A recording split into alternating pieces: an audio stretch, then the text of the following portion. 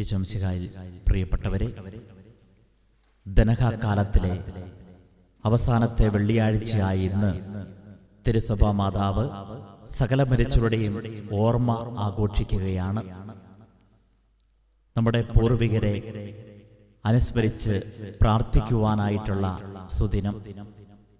നന്മ ചെയ്തുകൊണ്ട് ഈ ഭൂമിയിൽ നിന്നും കടന്നുപോയവരെ നാം അനുസ്മരിച്ച് പ്രാർത്ഥിക്കണം.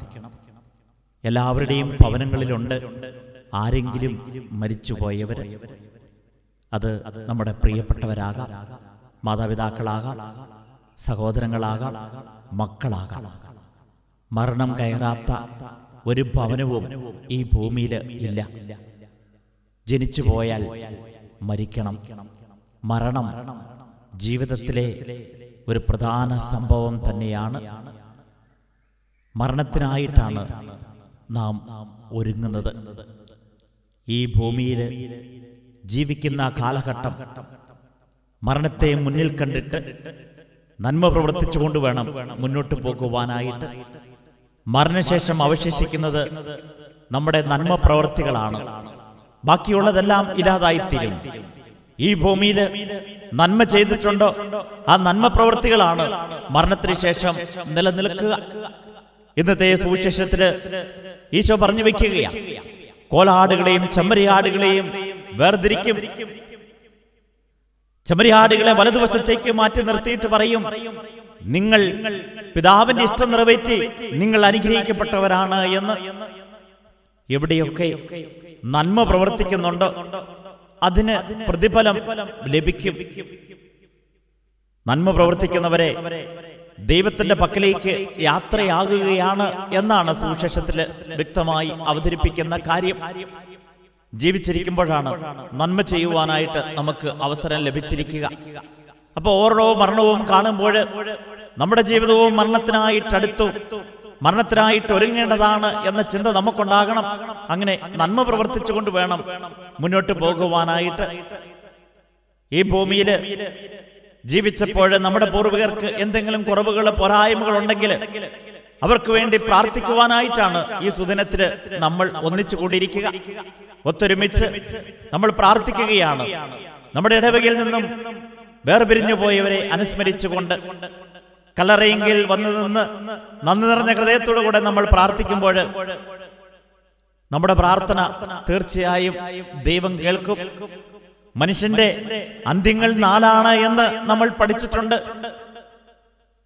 മരണം സ്വർഗം നരകം ശുദ്ധീകരണം ഇതൊക്കെയാണ് നമ്മൾ പഠിച്ചിരിക്കുന്നത്. അപ്പോൾ എല്ലാവരുടെയും ജീവിതത്തിൽ മരണമുണ്ട്. ഈ മരണത്തെ മുന്നോട്ട് നോക്കി കണ്ടിട്ട് തന്നെയാണ് നമ്മൾ ജീവിക്കുക. പലപ്പോഴും ഈ ഭൂമിയിൽ ജീവിക്കുമ്പോൾ മറ്റുള്ളവർ മരിക്കും. ഞാൻ മരിക്കുകയില്ല എന്ന ചിന്തയാണ് നമുക്കുള്ളത്. അതുകൊണ്ടാണല്ലോ ഓരോ തെറ്റുകളും കുറ്റങ്ങളും ഒക്കെ ചെയ്യുക. മരിക്കുമെന്ന് ഉറപ്പുണ്ടെങ്കിൽ മരണത്തിനായിട്ട് ഒരുങ്ങുകയാണെങ്കിൽ എങ്ങനെയാണ് നമ്മൾ ഇതുപോലെ തിന്മകളൊക്കെ പ്രവർത്തിക്കുവാനായിട്ട് പറ്റുക? ഈ ഭൂമിയിൽ സമ്പാദിച്ചു കൂട്ടിയിരിക്കുന്നത് എല്ലാം ഉപേക്ഷിച്ചിട്ട് വേണം കടന്നു ചെല്ലുവാനായിട്ട്. സമ്പാദ്യം എന്ന് പറയുന്നത് നന്മ പ്രവൃത്തികൾ മാത്രമേ പിന്നീടുള്ളൂ. നമ്മൾ വെട്ടിപ്പിടിച്ചതും സുഖസൗകര്യങ്ങൾക്ക് വേണ്ടി അധ്വാനിച്ചുണ്ടാക്കിയതും എല്ലാം ഉപേക്ഷിച്ചിട്ട് വേണം പോകുവാനായിട്ട്. നമ്മുടെ കൂടെ കൊണ്ടുപോകുന്നത് സത്പ്രവൃത്തികളാണ് നമ്മൾ മനോഹരമായിട്ട് മരിച്ചിടക്കന്റെ ഗാനങ്ങളിൽ പാടാറുണ്ടല്ലോ. നമ്മുടെ എല്ലാം ഉപേക്ഷിക്കപ്പെടും. കൂടെ കൊണ്ടുപോകുന്ന സത്പ്രവൃത്തികൾ മാത്രമാണ് എന്ന്. എല്ലാം വിട്ട് ഉപേക്ഷിച്ച് വേണം പോകുവാനായിട്ട്. നന്മ പ്രവർത്തിക്കുവാനായിട്ടുള്ള ഒരു മനസ്സാണ് നമ്മൾ വളർത്തിയെടുക്കേണ്ടത്. മരണത്തിന് ശേഷം ദൈവത്തിന്റെ സന്നദ്ധിയിലേക്കാണ് യാത്രയാകുക. ദൈവത്തിന്റെ സന്നദ്ധിയിലേക്കാണ് യാത്രയാകുന്നതെങ്കിലും ജീവിതത്തിൽ തിന്മ പ്രവർത്തിക്കുന്നവർക്ക് ശുദ്ധീകരണ സ്ഥലമുണ്ട്. കൊടും നരകത്തിലേക്ക് പോകും. അവരെ പിന്നെ രക്ഷിക്കുവാനായിട്ട് പറ്റുകയില്ല. അവരുടേതായ വിധി അവർ തന്നെ തിരഞ്ഞെടുത്തു. എന്നാൽ കുറച്ച് നന്മ പ്രവൃത്തികളൊക്കെയുണ്ട്. കുറച്ച് തെറ്റുകൾ വന്നിട്ട് പോയിട്ടുണ്ട്. അവർക്കൊരു ശുദ്ധീകരണ സ്ഥലമുണ്ട്. ആ ശുദ്ധീകരണ സ്ഥലത്തിൽ നിന്നും അവർ തങ്ങളുടെ പാപത്തിനെല്ലാം പരിഹാരം അനുഷ്ഠിച്ചു കഴിയുമ്പോൾ ദേവിതാവിന്റെ സന്നിധിയിലേക്ക് കയറും. അവരെ സ്വർഗത്തിലേക്ക് കയറ്റുവാനായിട്ടാണ് നമ്മുടെ പ്രാർത്ഥനകൾക്ക് വിലയുള്ളത്. ഈ ഭൂമിയിൽ നമ്മൾ പ്രാർത്ഥിക്കുമ്പോൾ നമ്മുടെ പ്രാർത്ഥന തീർച്ചയായും ദൈവം കേൾക്കും. നമ്മുടെ പ്രിയപ്പെട്ടവർക്ക് വേണ്ടി പ്രാർത്ഥിക്കണം. അവർ ശുദ്ധീകരണ സ്ഥലത്തിലാണെങ്കിൽ അവർ വേദന അനുഭവിച്ചുകൊണ്ട് കഴിയുമ്പോൾ നമ്മൾ പ്രാർത്ഥിക്കുമ്പോൾ ആ പ്രാർത്ഥന വളരെ വിലയുള്ള കാര്യമാണ്. അവർ സ്വർഗത്തിലേക്ക് കയറുമ്പോൾ ദൈവതാവിന്റെ സന്നിധിയിലായിരിക്കുമ്പോൾ നമ്മുടെ പ്രാർത്ഥന വഴിയായിട്ടാണ് കയറിയതെങ്കിൽ തീർച്ചയായും അവർ നമുക്ക് വേണ്ടി മാധ്യസ്ഥം വഹിക്കും. നമുക്ക് വളരെയധികം അനുഗ്രഹങ്ങൾ ലഭിക്കും. അതാണ് സഭയുടെ വിശ്വാസം. അതുകൊണ്ടാണ് നമ്മൾ ശുദ്ധീകരണ തലത്തിലെ ആത്മാക്കൾക്ക് വേണ്ടി പ്രാർത്ഥിക്കുക. ആരോരുമില്ലാത്തവർക്ക് വേണ്ടി പ്രാർത്ഥിക്കണം വിശുദ്ധ കുർബാന അർപ്പിക്കണം എന്ന് പറഞ്ഞ് പലരും വിശുദ്ധ കുർബാനയ്ക്ക് തരാറുണ്ട്. അതിനൊക്കെ കാരണം അവർക്ക് വേണ്ടി പ്രാർത്ഥിക്കുമ്പോൾ അവർ ദൈവപിതാവിന്റെ സന്നിധിയിലേക്ക് അവരുടെ പാപങ്ങൾക്ക് ക്ഷമ കിട്ടിക്കൊണ്ട് കയറുമ്പോൾ അവർ നമുക്ക് വേണ്ടി പ്രാർത്ഥിക്കും. വലിയ അനുഗ്രഹമായിരിക്കും നമുക്ക് അത്. പ്രത്യേകിച്ച് നമ്മുടെ പ്രിയപ്പെട്ടവരാണെങ്കിൽ അവർക്ക് വേണ്ടി നമ്മൾ പ്രാർത്ഥിക്കുമ്പോൾ അവർ ദൈവത്തിന്റെ സന്നിധിയിലേക്ക് കയറുമ്പോൾ തീർച്ചയായിട്ടും അവർ നമുക്ക് വേണ്ടിയും പ്രാർത്ഥിക്കും. ആ പ്രാർത്ഥനയാണ് നമ്മുടെ ജീവിതത്തിൽ വലിയ അനുഗ്രഹങ്ങൾ നേടിയെടുക്കുവാനായിട്ടുള്ള കാരണവും. ആ ഒരു ഉദ്ദേശത്തിലൂടെ തന്നെയാണ് നമ്മൾ നമ്മുടെ പ്രിയപ്പെട്ടവരെ അനുസ്മരിച്ചുകൊണ്ട് പ്രാർത്ഥിക്കുകയും അവർക്ക് വേണ്ടി ത്യാഗമനുഷ്ഠിക്കുകയും ഉപവാസം എടുക്കുകയും ഒക്കെ ചെയ്യുക. ഈ ഭൂമിയിൽ ജീവിച്ചു. മരിച്ചതിന് ശേഷം ഒമ്പതാം ചരമദിനം നടത്താറുണ്ട് അല്ലെങ്കിൽ ഏഴ് നടത്താറുണ്ട്. അല്ലെങ്കിൽ നാൽപ്പത്തൊന്ന് ഒക്കെ നടത്താറുണ്ട്. ഇങ്ങനെ പല ദിവസങ്ങൾ നമ്മൾ ചടങ്ങുകൾ നടത്താറുണ്ട്. അതിനൊക്കെ കാരണം പണ്ട് വിശ്വസിച്ചുകൊണ്ടിരുന്നു മരിച്ചു കഴിഞ്ഞവരുടെ ആത്മാവ് സ്വർഗത്തിലേക്ക് അല്ലെങ്കിൽ ഈ ഭൂമിയിൽ നിന്നും വിട്ടുപോകുന്നത് ഇത്ര ദിവസങ്ങൾ കഴിഞ്ഞിട്ടാണ് എന്ന്. അതുകൊണ്ടാണ് ആ ദിവസങ്ങളിലെല്ലാം ഇങ്ങനെ വലിയ ഒരുക്കങ്ങളൊക്കെ നടത്തി അവരെ പറഞ്ഞു വിടുക.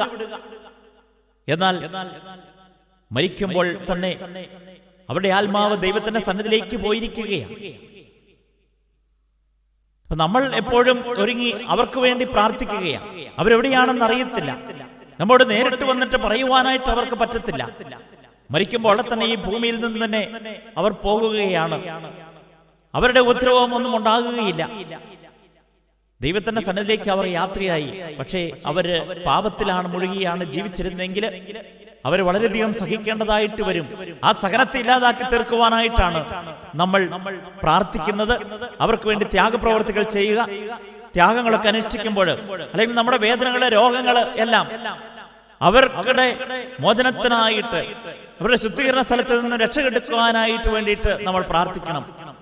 അപ്പോൾ നമ്മുടെ പ്രാർത്ഥനയ്ക്ക് വിലയുള്ളതായി തീരും നമ്മുടെ സഹനത്തിനും അർത്ഥമുള്ളതായി തീരും ഇന്ന് നമ്മൾ അവരെ അനുസ്മരിച്ചുകൊണ്ട് പ്രാർത്ഥിക്കുകയാണ്.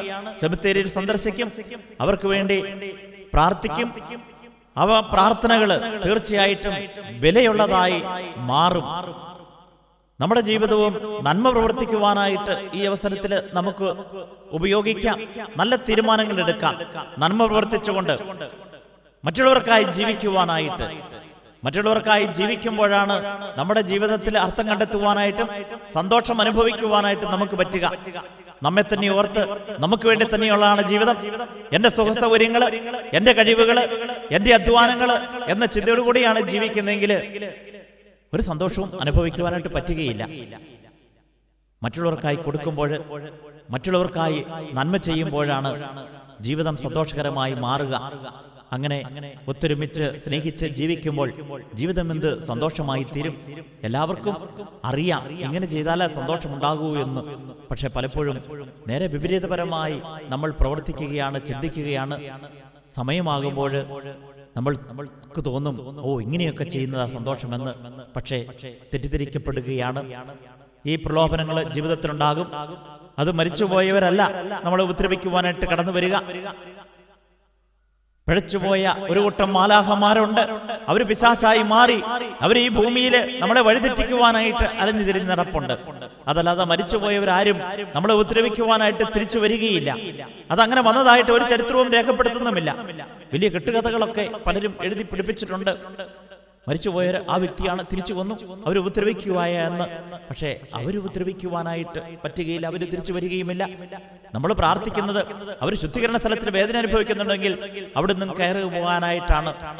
നമ്മുടെ പ്രാർത്ഥന തീർച്ചയായിട്ടും വിലയുള്ളതാണ്. നമുക്ക് പ്രാർത്ഥിക്കാം. ഈ വിശുദ്ധ കുർബാനയിൽ നമ്മെ തന്നെ സമർപ്പിച്ച് നമുക്ക് വേണ്ടി പ്രാർത്ഥിക്കാം. അതോടൊപ്പം നമ്മുടെ പ്രിയപ്പെട്ടവരെയും ഓർത്ത് നമുക്ക് പ്രാർത്ഥിക്കാം. അവർ വഴിയായിട്ട് നമുക്ക് അനുഗ്രഹങ്ങൾ ലഭിക്കട്ടെ. ശുദ്ധീകരണ സ്ഥലത്ത് നിന്ന് കയറി കഴിയുമ്പോൾ അവർ പിന്നെ വിശുദ്ധരായി മാറുകയാണ്. അവരുടെ പ്രാർത്ഥന തീർച്ചയായിട്ടും വിലയുള്ളതായിരിക്കും ദൈവം കേൾക്കും. അതിനുവേണ്ടി ശുദ്ധീകരണ സ്ഥലത്തിലായിരിക്കുമ്പോൾ അവർക്ക് പ്രാർത്ഥിക്കുവാനായിട്ട് പറ്റുകയില്ല. അതുകൊണ്ട് നമ്മുടെ പ്രാർത്ഥനകൾ നമുക്ക് അവർക്ക് സമർപ്പിക്കാം.